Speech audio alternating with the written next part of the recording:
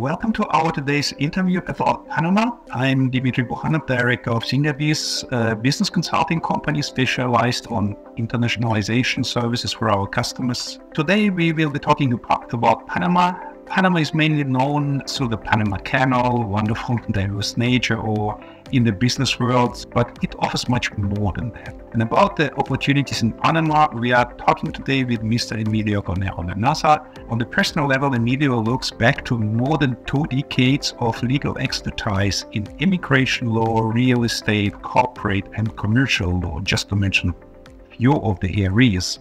Dear Emilio, thank you very much for being with us today. So, Emilio, uh, Panama and business. Uh, how easy is it to establish a company in Panama? Panama corporations, they are currently regulated by a law that is almost 100 years old, similar to those of the Delaware jurisdiction. We can set up a company remotely. You could be the sole shareholder or owner of the company. However, you will need three directors. In terms of, of the process of incorporating a company, this is something that can be accomplished in a matter of days once we have collected all the required documents. International businesses are ideal for this kind of company. And you could also use it for local purposes in Panama, such as a holding entity or as an asset owner let's say real estate or an investment account. Are there eventually any restrictions in use of Panamanian companies? Locally, there are restrictions when it comes to retail business practiced only by Panamanian citizens. However, if you want to use this company for retail purposes abroad, you can perfectly do so as long as you comply with the legislation where you are performing your commercial activity. Is it possible to open a bank account for your own uh, company in Panama? The Panamanian banking sector is heavily regulated. The bank will want to know what will be the main source of funds in this account and what will be the main purpose of this account. They want to understand a profile and also some financial projection or estimate for the first year. Could easily take maybe four to six weeks to be done, but it does require a certain level of expertise. Ideally, it would be recommended also to visit Panama for the opening a bank account, even if it is a business bank account, right? That is correct. And we will always advise clients to consider that a personal visit will help to set up this business account. Um, Emilio, now coming to the topic of uh, living in Panama. Panama changed the law about the immigration under the friendly nation visa rules. How complex is the immigration possibility nowadays? There are three paths to obtaining residency investing in real estate. The minimum amount required will be $200,000. The other one will be investing in a certified deposit in a bank account in Panama. There's a third path, and that is uh, proving an employment relationship with a Panamanian company.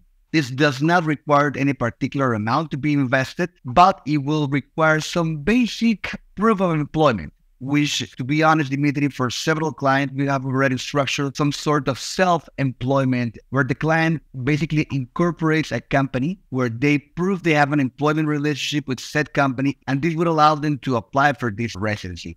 You must first apply for a two year residency permit. Before the second year ends, we have to refresh certain documents and file a second residency application. However, this time the applicant will get a permanent status.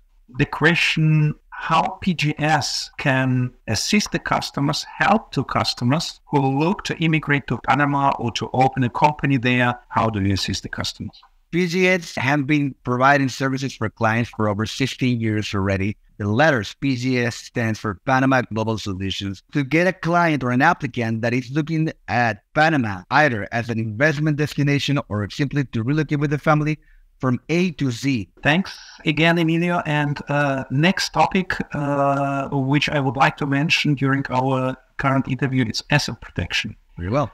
Panama is one of the best laws around foundations, I must admit. Uh, this is due to the fact that uh, actually the law is relatively young compared to uh, other countries uh, with the foundation laws. And when working on it, the Panamanian government took the best they could find in similar laws in Luxembourg and Liechtenstein. For whom could it make sense to have a foundation in Panama? setting up a foundation will be for those that want to either protect personal assets or just as a holding entity for other businesses. To give you some sort of ideas of the purposes that most of our clients have used these kind of instruments, they have used it to hold real estate bank accounts, investment accounts, stock or shares for other companies. Something else to consider is that being a trust like entity, it also provides, let's say, a private inheritance process that will help you to organize your assets and your legal heirs without following any particular uh, rules. Can it be done completely remotely? And what about anonymity when creating a Panama Foundation? The founder must sign the setup documents. Ideally, the founder should be in Panama to sign these documents. However, even this can be handled remotely. As to anonymity, yes, actually, the law in Panama allows for a company to be or act as the founder and foundation council. Would uh, ask maybe just one last question. So, uh, to the recent event in Panama, what could be expected after these recent elections? Of course, Dimitri, as you will mention, we have a new elected president. He is a corporate and maritime lawyer. He has provided through acceptance speeches. It looks like he wants to run a pro business government looking to attract uh, international investment to bring Panama back to a place where we have a better reputation and not just by handouts from the government. Great. So let's hope that Panama will become even more attractive than it is uh, at the moment.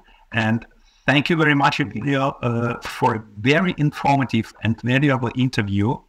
And I'd like I'd like to stress to the viewers that for further information or consultation about Panama, do not hesitate to contact PGS or Signabis. We will be glad to assist you. Thank you, Dimitri, for the opportunity to share with your audience uh, these inputs. Thank you very much. Thank you.